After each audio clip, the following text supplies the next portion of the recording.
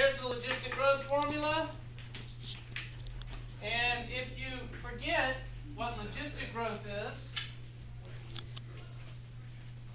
so normal exponential growth looks like this. The population, this is time, this is our population. And it just goes real up real fast like that. Now, logistic growth is when it quits doing that and levels off. And where does it level off? At the carrying capacity. This is called the carrying capacity, or K. So logistic growth looks like this, and there's actually an equation that where you can figure out population will do based on logistic growth. How cool is that? So what is that equation? There it is, the logistic growth equation. dn over dt equals r max times n times k minus n over k. So, let's think about what everything is. What does this represent? Change in number, change in time. The change in number over the change in time. It's how the population will change. That's often the answer you get when they give you the stuff. Now the R max is the rate of increase for the population. And sometimes that's given to you in the question. So let's look at number 8 on your sheet. We'll do 8 together. 8, 9, and 10 are all logistics problems. You didn't get a sheet? What is wrong with you? Where to start? That's not the only thing. Honestly, I think that's, that's what the hearing. What we should, what, what you come. Ah, there we go. Just was, I another sheet, don't you? Another sheet? Yeah. I have only one more sheet. I sold my other one. I would say. They were like, I got Mr. Willis' biology sheet. I was like, yeah. You just put it on my desk, there's some other ones there. Just stack it up, stacks on stacks on stacks. There you go.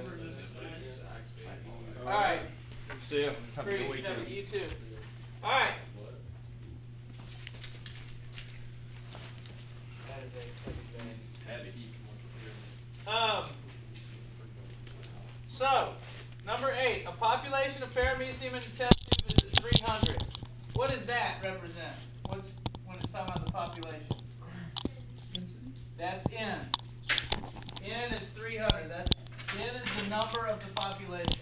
So we're going to plug 300 in right here, and we're going to plug 300 in right here. Now k is the carrying capacity.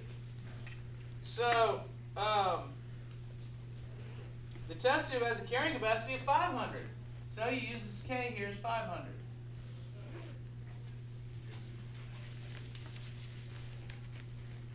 If the paramecium have an Rmax of 0.45 per week, gives you the Rmax too, now you ought to be able to figure this up.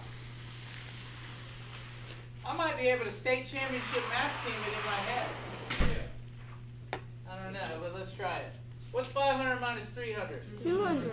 200. What's 200 over 500? Two fifths. 2 fifths, which is what in decimal place? Point four. Point four. Point four.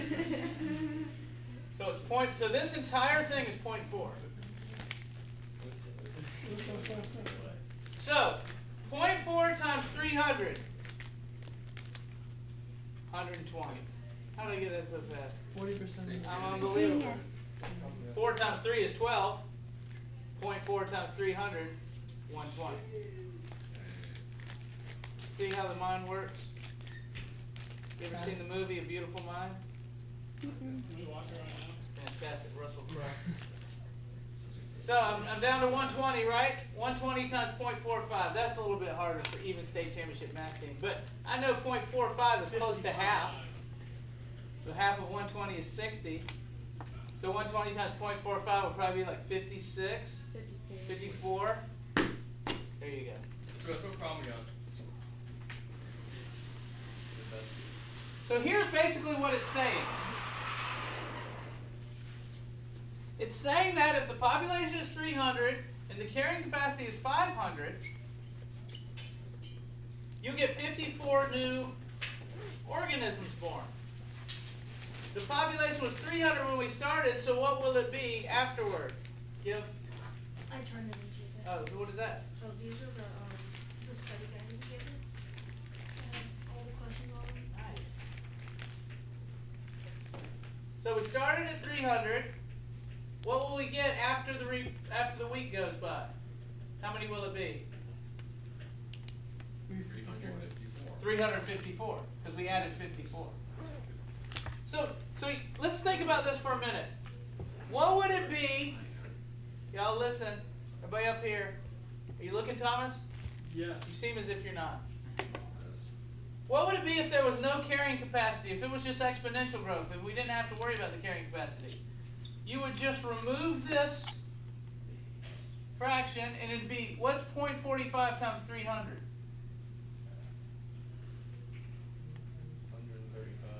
135. We would have gone up 135 if it was just exponential growth. But since it's leveling out at the carrying capacity, we only went up 54. Y'all see what I'm saying? Yes. The carrying capacity causes you not to go up as fast. It limits the growth. So if you're, these formulas are, are pretty simple. If there's, if you're not worried about carrying capacity, if it's just exponential growth, here's the formula. If you're worried about carrying capacity and, and you got to take that into account, there's the formula. Y'all are not looking. Y'all are looking at other things. It's terrible. That's that's how you don't learn. Formula with just exponential growth. Can you see it up there? Here, I'll erase. Let me erase the numbers. Let me erase the numbers so you can see it more clearly. Look, here's the formula with if of just exponential growth. Are y'all looking? Look, look up here. Here's the formula with just exponential growth. There's the formula if you're considering carrying capacity. Whoa. You see? Huh? Oh. Ah. Oh. This value will make your growth lower because there is a limit put on the population. K minus N over K will always make your growth lower. And if you're right up against the carrying capacity, let's say the carrying capacity was 500 and your population was 499. What's 500 minus 499? one, 1. What's 1 over 500? a very small number. a very small number. So you're not going to be able to go up very much if you're right up against the carrying capacity. What if you were right at the carrying capacity? It'd be 500 minus 500 over 500. So it'd be zero. Zero over 500 is zero. So you couldn't go up it because you're right at the carrying capacity. How do you figure out the capacity? They'll give it to you in the problem. It's just an it's it's a number. It's a it's a maximum amount that the area can hold. Now there is a possibility in actual real world activities where the population can shoot up over the carrying capacity. But now you're in a situation where there's not enough food and not enough space for the organisms. And that is actually taken into account here. What if the population was above the carrying capacity? What if our population was 550 and the carrying capacity was only 500? Then you'll get a negative number, negative 50 over 500. I can state championship math team that. Can y'all? Negative 50 over 500? Negative point 1. So we'll multiply whatever the population is by negative 0.1. Our population will go down after that. If we're over the carrying capacity, the population will be brought down.